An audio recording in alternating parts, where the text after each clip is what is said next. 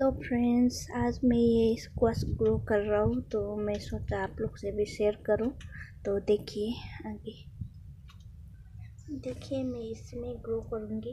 यहाँ पे मेरा ऑलरेडी पुराना वाला स्क्वाश है, जो यहाँ से ऊपर देखिए, बहुत बड़ा है। तो वहाँ आगे देखिए। तो देखिए फ्रेंड मैंने इस तरह का गट्टा बना दिया है।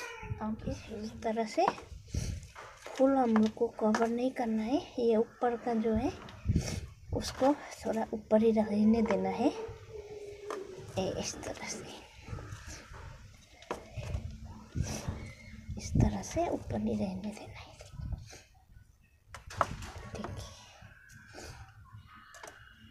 बाद में इसमें मट्टी देना है। जब यहाँ से इसका प्लांट निकलेगा, उसके बाद मैं पूरा मट्टी से कवर कर दूँगा। फ्रेंड्स ये देखिए, आज पूरा पच्चीस दिन का हो गया, चौबीस पच्चीस दिन का हो गया। दोनों ही मेरा जो चाव का प्लांट है, अच्छे से ग्रो हुआ। देखिए। अब मैं यहाँ पे मट्टी से पूरा कवर कर दूँगी, ये चावलों को। ये मेरा पुराना वाला बेल है। यहाँ देखिए, ये नया वाला। ये यहाँ तक गया है। और दूसरा जो है, वो थोड़ा ऊपर तक गया है। ये देखिए, यहाँ तक गया।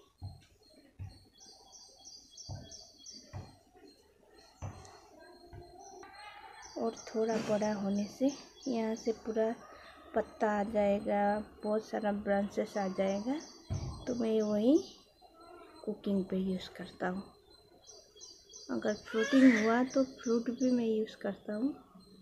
लेकिन ये जो सूट्स आता है वो बहुत आ, अच्छा होता है कुकिंग के लिए सब्ज़ी बनाने के लिए। बहुत ज़्यादा न्यूट्रिशन होता है। ये तो मेरा पुराना वाला बेल है। पुराना वाला है चाव चाव का प्लांट देखिए। ये देखिए, पुराना वाला चाव चाव का प्लांट इसमें फ्लावरिंग हो रहा है। थोड़ा नास्तिक से देखिए। ये मेरा नया वाला बेल है। ये दोनों। अभी यहाँ से बहुत सारा ब्रांचेस आएगा लीफ आएगा, उसी को मैं यूज़ करती हूँ। सब्ज़ी बनाने में। देखिए। बहुत टेस्टी होता है फ्रेंड्स ये देखिए, मेरा लाल साग। सभी बहुत अच्छे से ग्रोथ हो रहा है।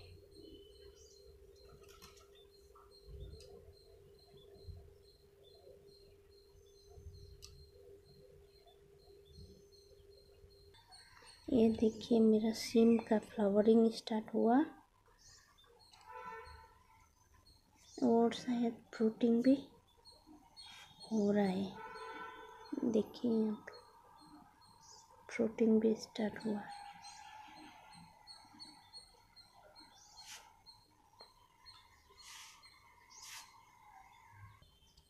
ये देखिए मेरा मस्टर्ड लिप इतना बड़ा बड़ा हो गया।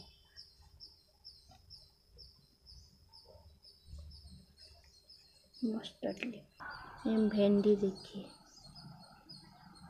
अभी भी है भेंडी। अभी भी आ रहा है। भिंडी तो इतना आया इतना आया, बहुत आया भेंडी। एकदम छोटा छोटा प्लूटिंग हो रहा है। देखिए यहाँ पे। और ये देखिए, ये। धनिया, पूरा धनिया का गया ये वाला मेरा बोटबोटी का प्लांट है। ये भी थोड़े दिन बाद फ्लावरिंग स्टार्ट हो जाएगा।